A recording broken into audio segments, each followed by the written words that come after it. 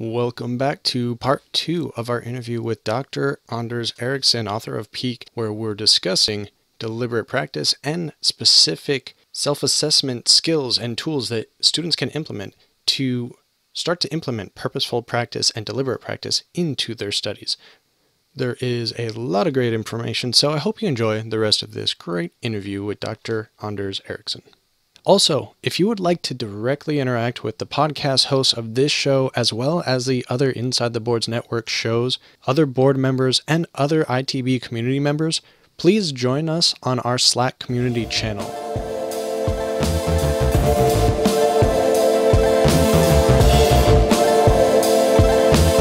Welcome to the Medical Mnemonist Podcast, your source for memory techniques and accelerated learning in higher education.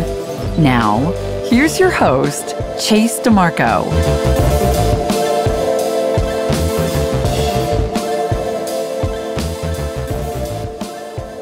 And, and my own kind of vision is that if you're willing now to think out loud when you're trying to answer questions and videotape that, conceivably you could then edit and now send a package that is 10 episodes that you want an expert to actually give you feedback on and that that would be a much more effective way you know assuming now that the person who's giving you advice has you know a higher salary and therefore you would need to minimize you know their time.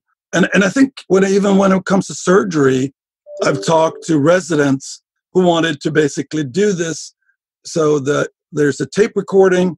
So instead of having you know their supervisor watch the whole thing, you know, you could pick out maybe a 30 second interval here and tell, okay, I was thinking this, and this is what happened. You know, I did this, but, you know, would there be something else that I could have or should have noticed that would have allowed me now to uh, select something that would had an even better outcome? I'm a big advocate for medical students using some sort of journal to say, this is what I think is going to happen. Okay, this is what happened. Okay, this is why it happened. So that sort of self assessment, at least, and you can still use those notes if you have a tutor or something of that sort and bring that recorded log and keep yourself honest so you don't develop your own uh, confirmation bias thinking that you're doing better than you are. Would you recommend something like that as well? You know, I, I think that's great. And, and, and in fact, it's one thing that I'm really looking for is individuals willing to document their own process. So I sometimes draw the analogy here, you know, with Columbus or any kind of discoverer who went to this unknown country. And basically, uh, in order to really communicate to people weren't able to make that journey, you basically had to document and write down all the things that you saw. And, and I don't see that there's a lot of journeys that actually would allow you to learn from somebody else's process. And I think that there might be ways here, especially when people, we have several descriptions, to now find things that are recurrent problems that maybe a slightly different decision here early on might actually lead to much more successful outcome later on but essentially building up now this knowledge here of the path to expertise or expert performance. Wow, I think that would be a great study. And you know, I was just thinking that we have at Inside the Boards a study skills book coming out, and then hopefully this summer, if everything goes as planned, and perhaps we could work something in with that, such as a free PDF you can download, or request students go to a certain website and sort of journal this material or send in the journal when they're exiting school and maybe collect a log that way. We could have a, a new research project to work on. Well, you know, in some ways, I think people should be able to get credit for those kinds of documentations. And, and I, I think now with YouTube and stuff like that, it's not, you know, like it just has to be verbal. You can actually document things with video. And, and I know that there are people, especially in sports, who where parents actually are now documenting the changes by basically making sure now that the the child that they're you know helping will do the same thing because one of the problems is assessing here the differences so if you're doing totally different things at the two different times, it makes it much harder here to pinpoint, you know, what is the difference. So ideally, you would like to have some tasks that you basically would be able to do now multiple times. And then you can see how basically with different skill levels, you will be able to, you know, perform these tasks in a different and hopefully better way with basically more training. Mm, but I find that it would be very difficult for a student to know how to set that up on their own. But if they had something they could just maybe go to a link and download, then maybe they'd use it and we could gather some information on that. I think it would be great to find out more about that and the entire medical community would probably benefit greatly from that type of research. Well, you know, I, I think what you need is sort of maybe somebody with money who is willing to fund something like this.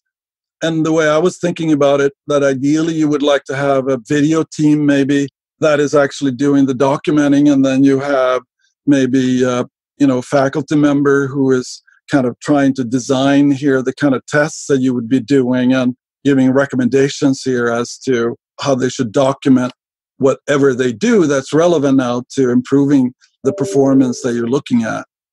Hmm.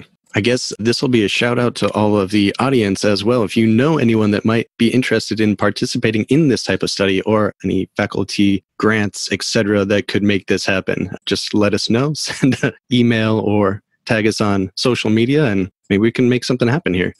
I think that would be really enormously interesting, and hopefully, it will be a great experience even for the person who's actually doing it, because I think getting that kind of feedback and being able to get more information here about their own improvement process, you know, I think might be quite useful. And and also maybe some people would enjoy the recognition because if a lot of people will now actually go and look at this video sequence that's associated with how you acquired, you know, a really an, an, an excellent skill for some medical procedure or whatever, then you know that may be uh, another this piece in their vita. Agreed. Yeah, definitely. That would be very interesting, I think. Now, one more topic I did want to cover before we start wrapping up the end here, since I know you're short on time, is there a lot of research for this type of study practice, like deliberate practice, for your memory skills as well, since we cover a lot of advanced accelerated learning techniques, but also mnemonics, which are becoming more popular in medical training. I know you mentioned the London taxi driver test before. Maybe some of that information and the trait versus state changes that can be seen in the mind. Would you say that that also applies to memory training and mnemonics?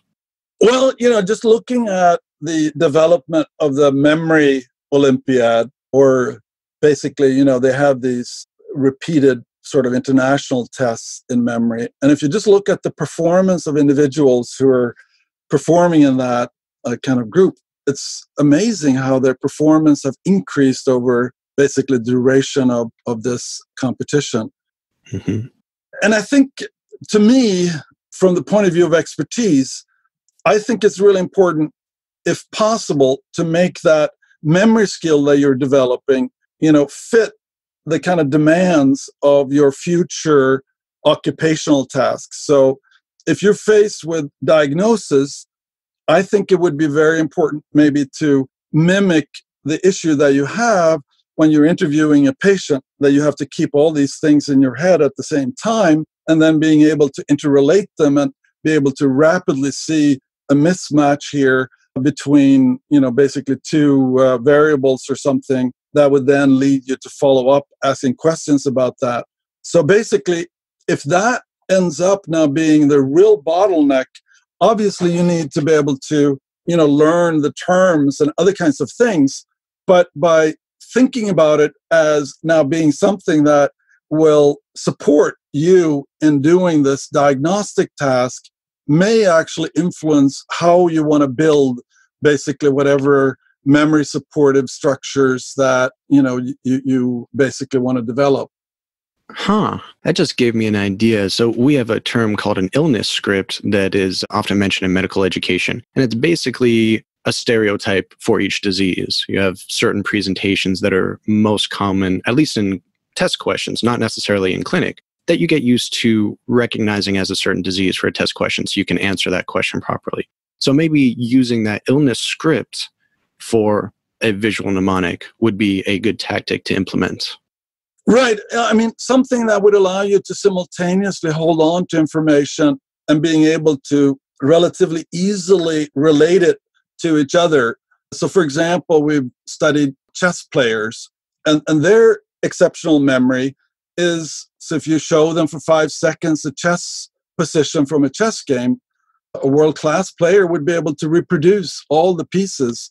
Now, it's clear that they're actually semantically encoding this because when they presented the same number of pieces but now randomly rearranged essentially the world class players you know they were down to four or five pieces almost like a beginner. It's kind of like they're seeing patterns. And the question is is there a way here of supporting now the building up of that memory skill that would allow a chess player to plan out consequences of a bunch of different moves. And I guess in the case of a medical doctor, having a lot of information that's relevant now to a pathology and then being able to kind of reason about you know how the different pieces relate to each other and how would that memory structure be built and i think you know the illness scripts would need to fit into this general model whether in fact the illness script should be kind of the building block or something that it's just necessary that you would be able to identify within this structure that you have for representing all that information. All right. I, I'm kind of comparing the chess example, which I think uh, was quite interesting in your book, on the world champion or I forget his title, one of the grandmasters that could blindfold play 30 or 40 games concomitantly. How do you remember the pieces for every move while you're playing 40 different games at the same time, whatever number it was. And I kind of make the comparison to that, to the illness scripts in the aspect that, okay, they must be recognized in certain patterns. And with the illness scripts, we recognize certain patterns. But then, like you mentioned, what happens when a chess piece is put out of place where it sort of messes up their visual representation of that pattern? In a similar fashion, if you have a odd presentation of a common disease that you're used to. That can really throw out of whack your illness script and, and your pattern recognition there. So you might not recognize that disease like you normally would. And we actually did some experiments, and other people have done it. So instead of actually showing the chess position at the same time, you can actually, in a random way, read out the chess square and then tell what piece is in that square. And what's interesting is that very good chess players they have no problem actually integrating that information. But obviously, uh, less skilled players, you know, they can't even hold on to that information to be able to, you know, see if there are some patterns for that particular chess position that's being presented. But I think that understanding more about what are the operations that the expert is able to do. So, by basically describing now what the expert medical doctor is able to reason and then working backwards and say, you know, what are the tasks that we would be able to do that, you know, would be maybe not as difficult here as the tasks that they would have no problems with, that would actually allow you to start building that structure that then can be elaborated and eventually, you know, allow you to match the performance of the experts. So elaboration is sort of another key for expertise, it seems. Right, kind of that idea here of sort of semantically being able to represent things in an appropriate way. And, and my memory is that experts, when they actually get results numerically, they're able to transform those into more meaningful kind of quantities. But that also means that if you ask them to recall the specific number, they wouldn't be able to do that. But they don't need that in order to be able to reason about the relationship of, of this type of variable and how it may or may not be relevant to ruling out diagnosis.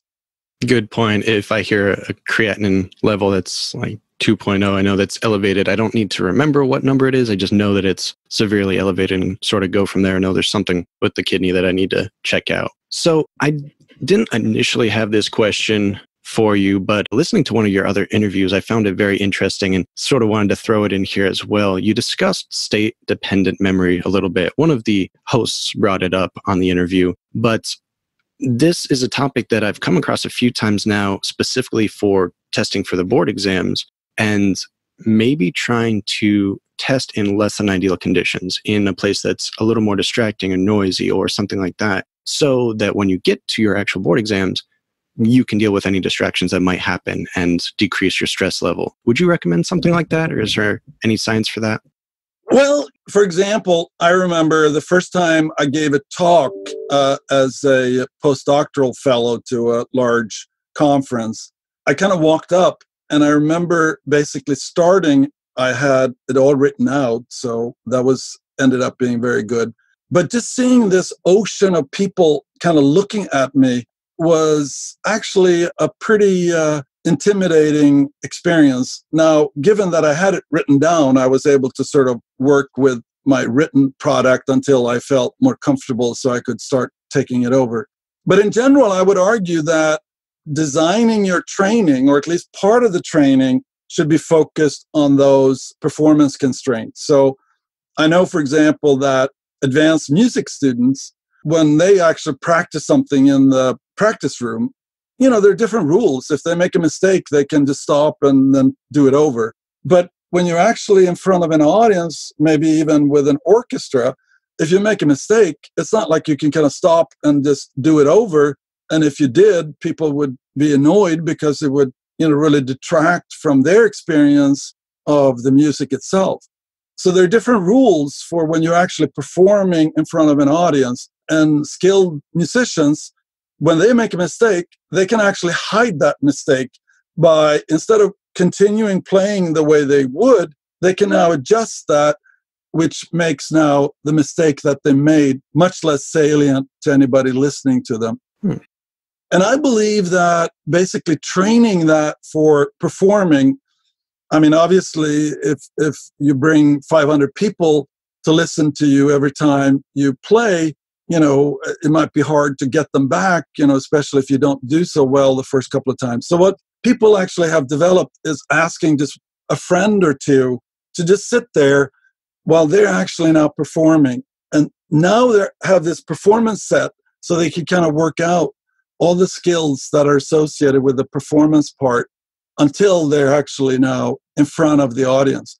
And I think, you know, it's a little bit the same way, I guess, with taking these big tests there's a specific time when your performance really matters. They wouldn't care here if you could tell them that you did 20% better here you know 3 days before the test. And that's part of what i think you know a skilled performer would be working on. And if they diagnose that this might be something that they have more problems with than other people well then they probably need to spend more time on it. Yeah i can definitely see how how those differences can really be difficult to overcome sometimes and just analyzing it yourself and figuring out where the troubleshooting where the weak point might be can be a problem. And, and here again you know if you had a good teacher or a very experienced say uh, graduate student or other individual who had gone through this process i bet you that they would be able to provide some very useful guidance if you would be able to get them to be willing to kind of monitor you when you were taking the test and just you know when you take the test being really firm here about when you do it and it's not you know like you can decide when you want to do it. Basically you should replicate those exact conditions here that you're going to take the test under and by becoming more and more familiar with that you're probably going to be more likely here to be able to use your time wisely here in terms of improving your score as opposed to you know just going and doing and then just finding out that you run out of time that's going to be one of my next goals is working on a platform for peer tutoring in medical school. It's a little bit that exists right now, but it's mostly physicians tutoring and those can be quite pricey. So I'd love to see more of a peer tutoring aspect and people that are still learning currently, they're going to have a much different view on the material than someone that's already graduated might. So to finish up here, I usually end the segment with three questions, and I've recently changed out the questions to something a little little more general, uh, a little more applicable to the various guests that I have on the show. And I think it's just interesting because they're all topics that someone has, if not an expertise in, usually pretty strong opinion about. So I'm now calling this segment Just Three Wishes. The first question if you could change one thing about your memory, what would it be? Well, that's an interesting question to me because I think early on I realized that I was very good at rotely memorizing things, but I just found that it seemed to be a waste of my energies once I knew what I wanted to eventually be able to be good at. So I think pretty much even in high school, I refused this idea for history exams of actually trying to cram and study dates and stuff like that. I ended up actually going to the library and reading maybe a book or two about the same period. So now I could kind of read and try to understand all the things that were going on. And then on the test, it was almost like I could retrieve all the necessary knowledge based here on my kind of understanding of the historical things. And and I think that's been a general principle of mine of knowing that I may have to spend 10 times as much time. But if I try to understand why things are the way they are, I'm going to remember it much more easily. And it's also going to be much more easy for me to use that information later on because once I understand it, it's something that I can now connect to other knowledge that I have. From that point of view, it's more like it, it was kind of a switch that I had that led me now to a different conception of what it is that I should be trying to do, where memory really wasn't in itself a limiting factor. All right. I couldn't agree more with finding out why you need to learn information. That's a trouble I know I've had, and I'm sure most medical students with. We're not taught why we need to know certain facts, and it becomes very difficult to motivate yourself to remember them. And usually in that case, you have to memorize them since conceptually it doesn't make as much sense to do so. For the uh, second question here, if you could change one thing in education, what would it be? I've been trying in the last uh, few years, you know, to try to see here how our insights into experts might have some relevance here for more general education. And and I and I guess I I feel that you know our society has changed tremendously and and i think the kinds of skills and qualities that you would need maybe now and, and especially decades from now it's going to be you're going to need to be able to relearn and be very adaptive so what you really want to do is to help students become entrepreneurial so they in some ways are developing the skills to be able to be good not at basically just resuscitating the information that basically their teachers gave them, but in a sense here, developing individuals who are willing to think and basically also having kind of a goal where you know they can you know be motivated here to kind of improve their performance seeing that you know not only will they feel good about doing well but actually as especially as a doctor if if you can do something for your patients that would in some ways make the outcomes better for them just because it's you i think that would be extremely rewarding and, and sort of really motivate me if i was a doctor to invest here and really trying to be doing a little bit better every year yeah great point I notice in a lot of realms of education, not just medical education, it's difficult for the educators to keep up with the education research, with the psychology of learning and cognitive science of it. So hopefully some of these shows will tell the audience that whether it be educators or students what the current research says and how to best benefit their own studies just in case they might not have heard it elsewhere. Well, you know, I think that would be wonderful. All right. The last question if there's one thing you could change in medicine, what would it be? I think when it comes to that idea of professional development beyond sort of the more formal training and finding and providing tools now for medical doctors, nurses, and anybody involved here in the treatment of patients, of giving them the tools to kind of improve and in some ways make sort of their job richer and more challenging because I, I think that I've seen, you know, cases where people feel like they're just doing things over and over. Although maybe medicine is a place here where there's more people who seem to be really caring you know, and, and really getting something out of establishing that contact with the patients and thereby getting enjoyment when they feel that they can be really helpful and making a difference in people's lives. But the more that you would be able to provide these kinds of tools and and maybe even create time in the in the same way that certain jobs, it's really you have a big chunk of time and maybe it could only be half an hour a day or whatever where you actually challenge yourself. And in a sense you're having the sense that you're now able to do certain kinds of difficult and challenging things better or preparing for you know a really adverse event that may or may not happen but if it did you could potentially now make the difference between life and death for a given patient Wow, when you put it uh, like that, difference in life and death, I think everyone should consider putting a little more time into that personal development and personal training then. And again, here, I think you're the new generation here that hopefully will, you know, be able to uh, find some of these ways here in which things can be improved both for, you know, the, the professionals as well, and then indirectly for the patients. I sure hope so. Are there any parting words or places that the audience can contact you? I'm kind of uh, almost not being able to handle my emails. So, so basically, uh, I don't have a lot of this sort of social presence. But I would encourage people if they're interested in what you were talking about before, and if it ends up being something that you would be interested in, I certainly would be willing to do my best here to support something like that. And I think that would be really exciting.